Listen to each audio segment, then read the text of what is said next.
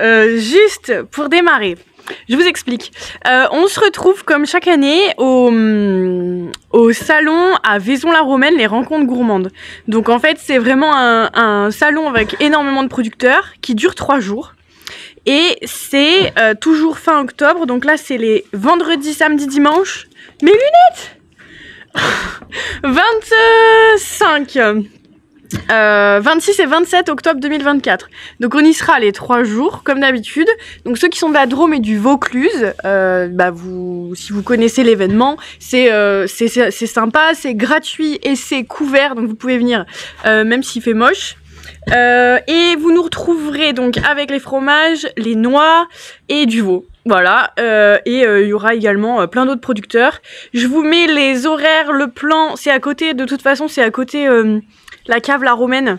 Je vous mets toutes les infos en description, comme ça vous aurez absolument tout si vous voulez venir. Bonjour à tous, on se retrouve, on est le lundi 16 septembre, il fait 14 degrés. C'est à la fois une bonne nouvelle et une mauvaise nouvelle. Euh, une mauvaise nouvelle parce qu'on a allumé le chauffage, donc le poêle a granulé et on va devoir rallumer le poêle à bois parce qu'il fait froid. Euh, et une bonne nouvelle parce que les températures froides, on a entre 5 et 8 la nuit. 5 et 10, cette nuit c'est 10. Et euh, 14 et 15 l'après-midi.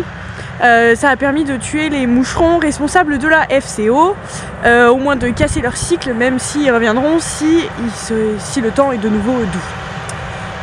Donc, météo pourrie, ça reste un peu la course pour nous.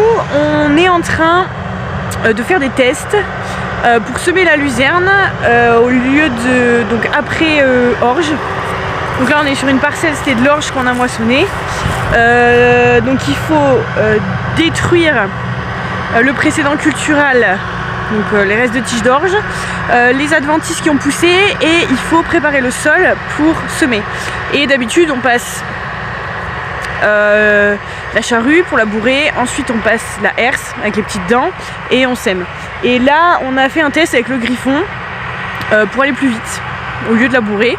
Euh, et demain soir il pleut, donc on a déjà semé deux champs de luzerne et donc là c'est le troisième. Et, euh, et du coup ben, on s'active et je vous montre tout ça.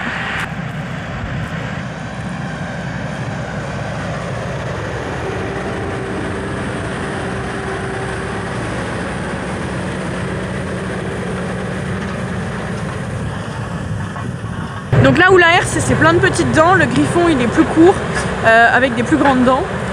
On avait fait un test euh, il y a deux ans il me semble avec un cover crop plutôt que la charrue. On n'en était pas content à 200% parce que déjà le cover crop fait vachement tirer euh, le, euh, nos tracteurs, c'est-à-dire qu'il faut vraiment de la puissance de tracteur pour pouvoir euh, le manœuvrer. Et ensuite on s'était fait avoir au niveau météo, on n'avait pas pu semer, les adventices étaient ressortis et du coup on a complètement euh, raté euh, le semis de luzerne. euh, oui c'était ça, c'était un semis de luzerne qu'on a complètement mais raté, raté, raté. Et il aurait fallu, enfin il aurait fallu sur ce champ-là qui avait été massacré par les sangliers, il y avait de l'orge partout, il aurait fallu il aurait fallu labourer euh, classique pour vraiment détruire, le cycle, cycle pardon, des adventices.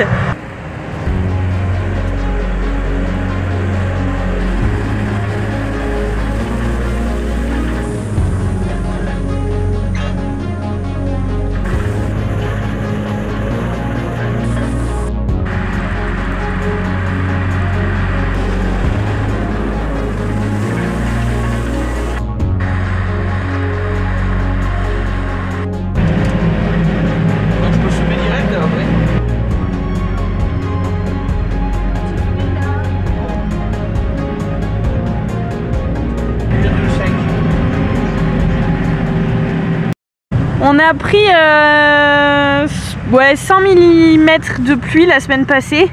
Donc euh, là on a eu 4-5 jours de très grand vent, c'était très très désagréable, très très froid. Euh, mais la terre est quand même voilà, humide. hein. Donc là on est sur les quelques premiers centimètres. Donc plus la pluie de, demain soir et les températures qui sont censées remonter un petit peu, on espère que ben, la luzerne va correctement euh, démarrer. On croise les doigts. Bon, on ne rigole pas, je suis littéralement euh, congelée. Le soleil, comme vous le voyez, il est, il est pas là et j'ai froid.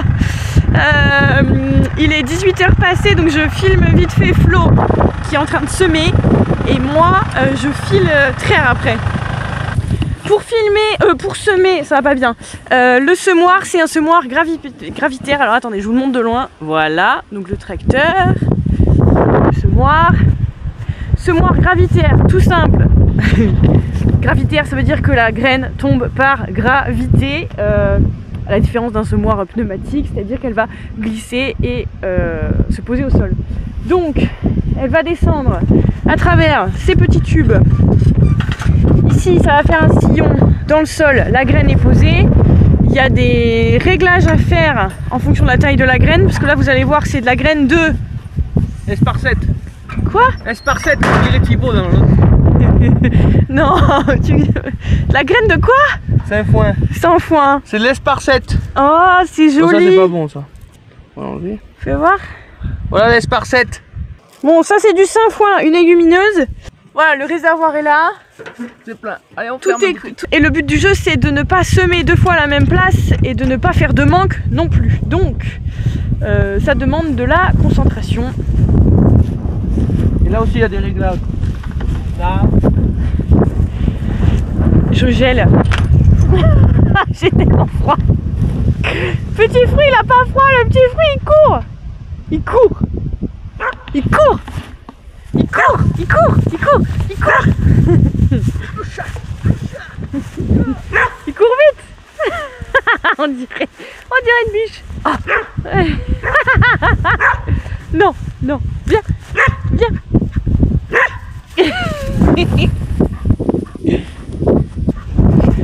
Un chien heureux.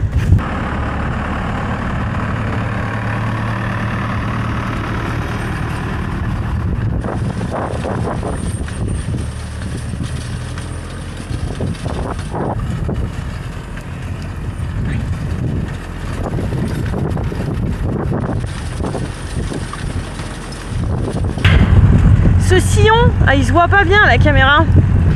Il y a un sillon, c'est le traceur, ce qui permet de repérer celui qui sème pour pas repasser au même endroit.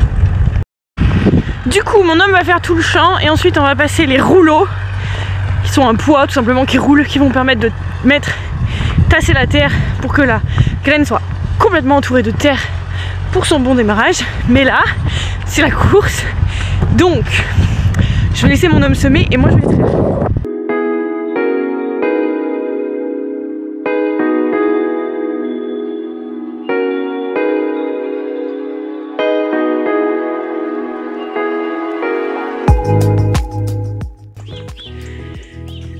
Euh, coucou tout le monde, on est euh, le 25 septembre et finalement il fait un temps de novembre. Je sais pas si vous ressentez le froid à travers la vidéo, mais il fait 7 degrés, tout est impeccable. Voilà, je vais traire avec euh, une jolie lumière du matin.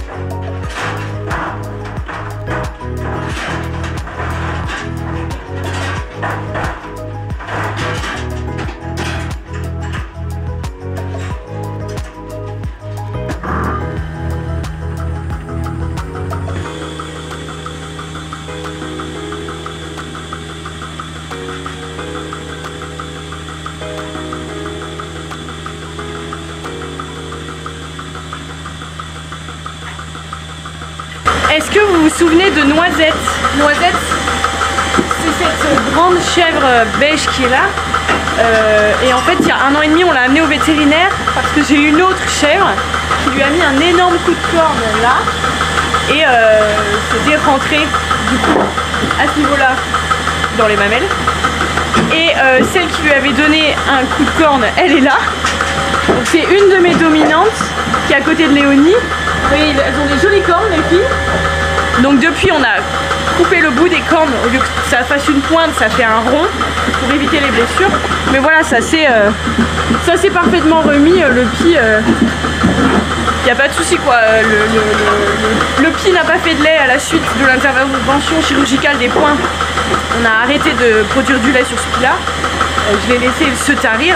Et par contre, euh, voilà, cette année, euh, ça se voit plus, il n'y a pas de problème. euh, pas de dégâts, donc c'est top.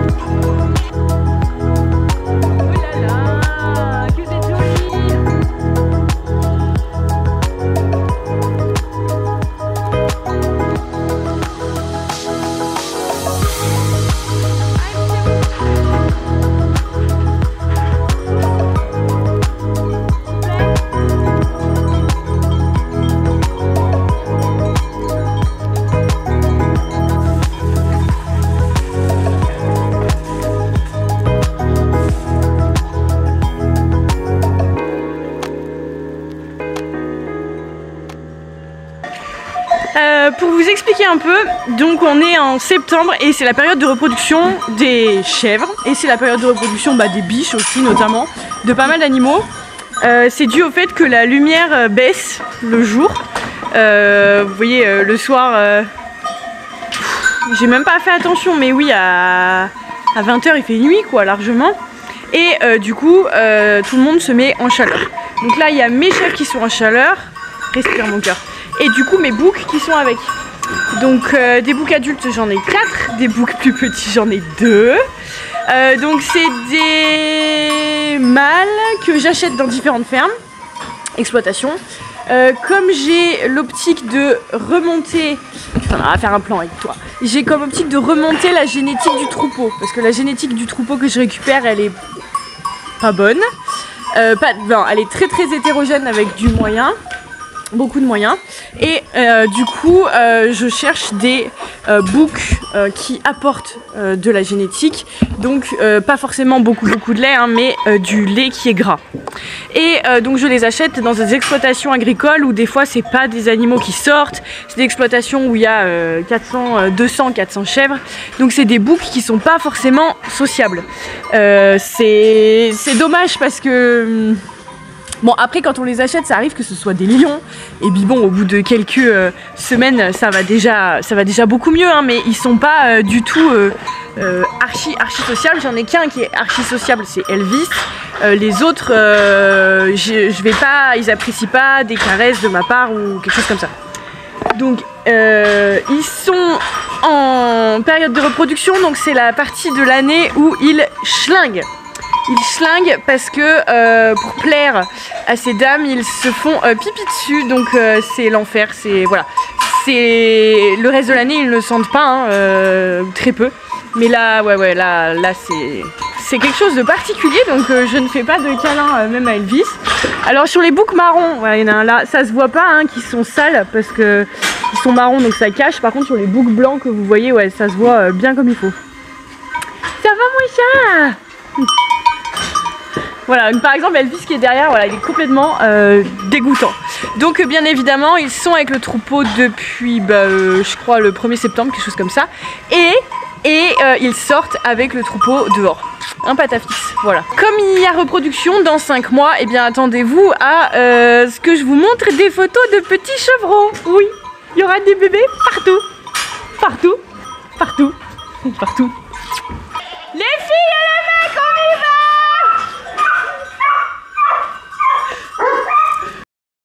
Attendez, mais laissez-moi passer. Doucement.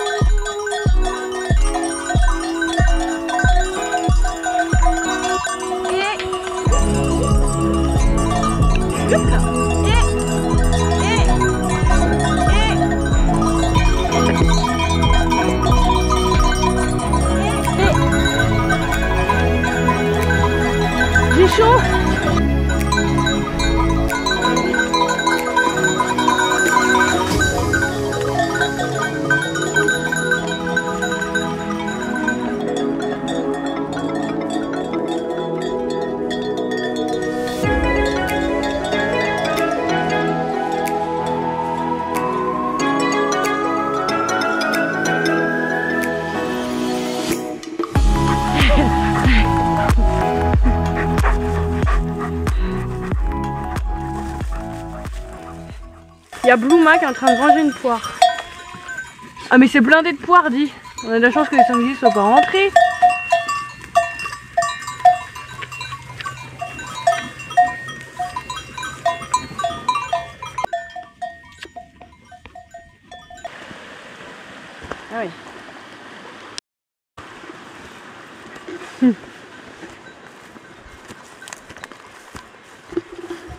En train de refaire le tour de la clôture parce que le jus ne tape pas euh, à fond.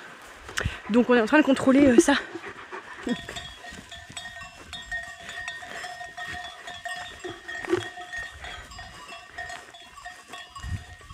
Ça va pas bien la tête hein?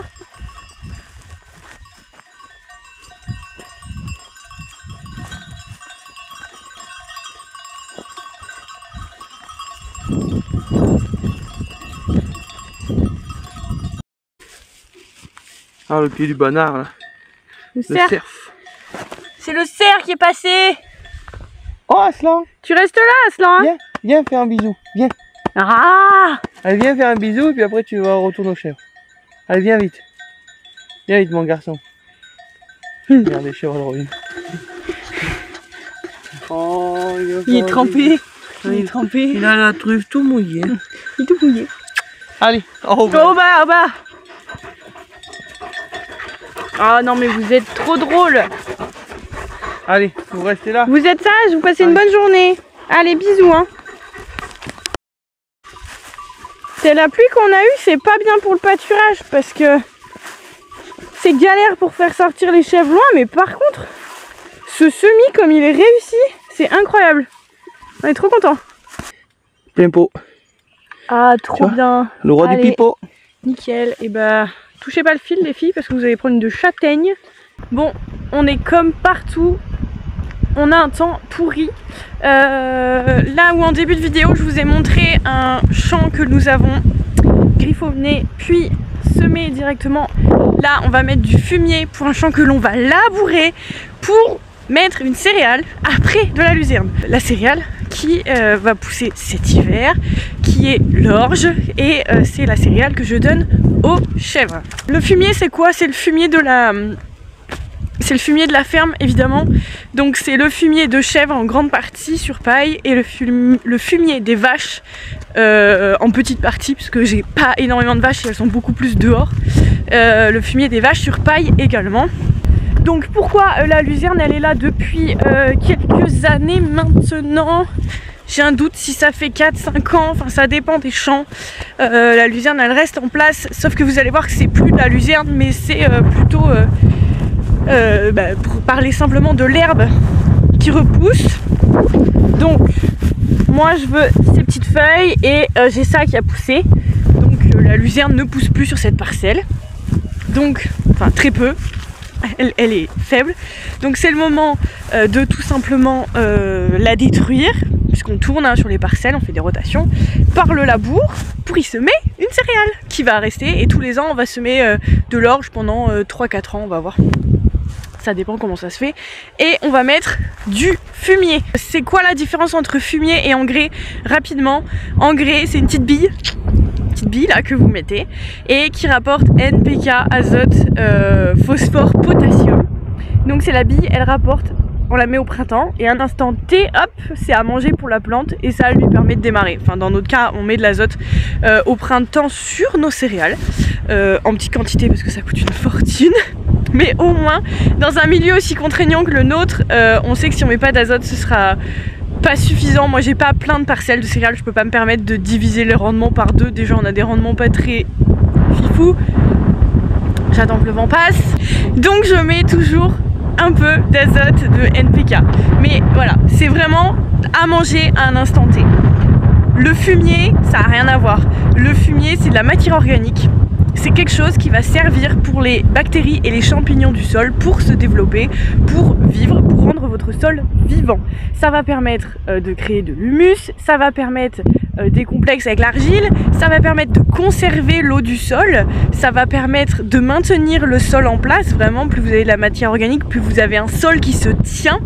Donc vraiment, euh, ça, et ça va apporter NPK, donc les éléments de l'engrais, mais en très petite quantité. Donc du fumier, c'est quoi? Un engrais très très très très peu concentré.